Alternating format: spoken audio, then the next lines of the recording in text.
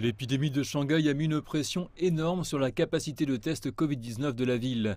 Les autorités affirment maintenant que les tests de masse dans la plupart des quartiers de la ville utiliseront désormais des kits d'autodiagnostic rapide. Pour beaucoup, ce sera la première fois qu'ils utiliseront cet équipement. Les jeunes pourraient ne pas avoir de problème à utiliser le kit d'autotest, mais de nombreuses personnes âgées du quartier ont du mal à comprendre les instructions. Dans la rue, nous avons vu de nombreux agents communautaires s'apprêtant à livrer des kits de détection.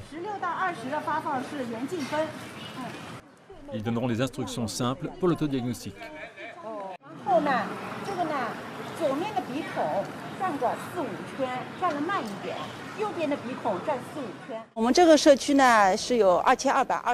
Il y a plus de 2200 ménages dans notre communauté, soit d'environ 5100 résidents. Environ 45% de nos résidents sont des personnes âgées. Nous avons un administrateur dans chaque bâtiment pour délivrer les guides de détection, mais la plupart d'entre eux sont plutôt âgés. Pour aider l'administrateur du bâtiment, au moins un volontaire est ici pour distribuer des kits de détection à environ 40 ménages cet après-midi. À eux deux, ils formeront une équipe pour l'enregistrement et l'enseignement des instructions à ceux qui ne savent pas comment utiliser le kit d'autodiagnostic. Comme certains administrateurs de bâtiments sont plutôt âgés, nous les aiderons à enseigner aux résidents la procédure standard d'utilisation du kit.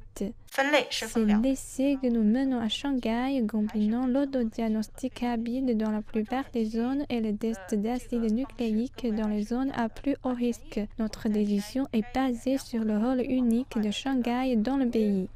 Si le test antigénique donne un résultat positif, les résidents doivent appeler les agents communautaires afin qu'un test PCR soit effectué.